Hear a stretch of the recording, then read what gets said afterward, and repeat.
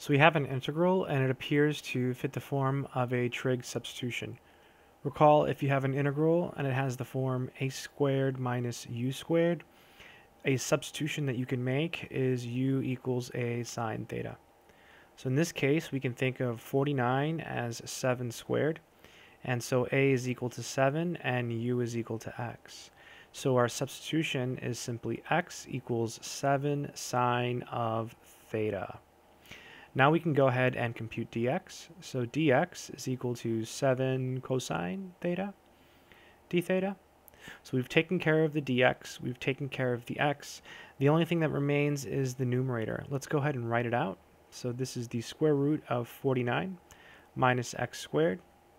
So this is equal to 49. And we know x is equal to 7 sine theta. So we just square the 7, so we get 49 and we square the sine function so we get sine squared. Now we factor out a 49, so this is the square root of 49 times the square root of 1 minus sine squared. The square root of 49 is 7, and then 1 minus sine squared is cosine squared. And so we end up with 7 cosine theta.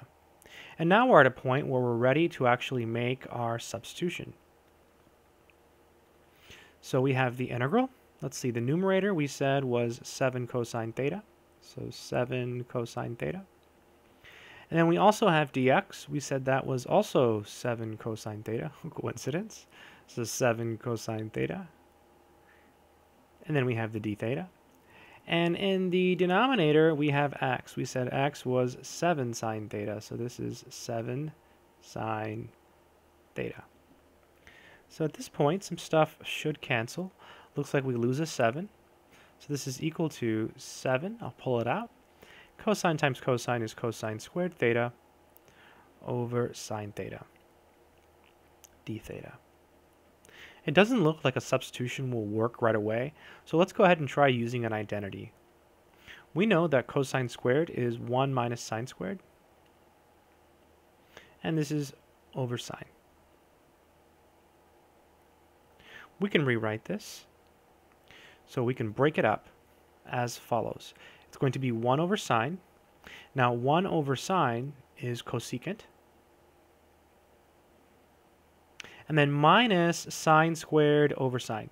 Sine squared over sine is simply sine. So minus 7 sine theta d theta. Now we can integrate. The integral of cosecant is negative and we still have the 7, natural log absolute value of cosecant theta plus cotangent theta, absolute value, minus, and then the integral of sine is negative cosine. And we have the plus c. Let's go ahead and clean this up a little bit more. This is negative 7 natural log of cosecant of theta plus cotangent of theta, and then we have the plus 7 cosine theta plus c. Now we're not done. We have to go back to our original substitution, which was x equals 7 sine theta, and use that to draw a triangle.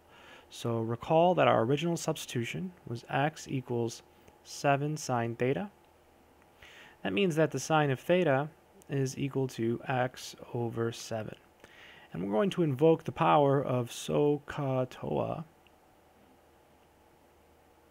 So here, this is opposite over hypotenuse. So when we draw our triangle, here's our theta, and so it's opposite over hypotenuse. So the opposite is x, and the hypotenuse is 7. And if we call this b, we can use the theorem of Pythagoras to solve for b. So 7 squared is equal to x squared plus b squared.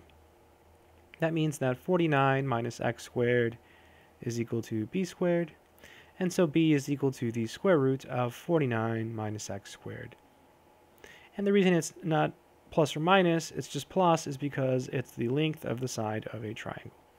So now we can go back and fill everything in and probably be, be done. So let's see, negative 7 natural log all right, so cosecant is 1 over sine, so it's ho, ho. So it's hypotenuse over opposite. So 7 over x. And then we've got cotangent. That's 1 over tangent. So it's AO, AO. So adjacent over opposite. So plus the square root of 49 minus x squared over x plus 7. And now we've got cosine. That's cos. So adjacent over hypotenuse. So the square root of 49 minus x squared, that's the adjacent, and the hypotenuse is 7. Plus c. Oh, looks like the 7's cancel. So this is equal to negative 7 natural log absolute value of 7 over x plus the square root of 49 minus x squared over x, absolute value, plus the square root of 49 minus x squared, plus our constant c. And that is the final answer. I kind of rushed through this, but it's a very, very long problem. I hope that made sense.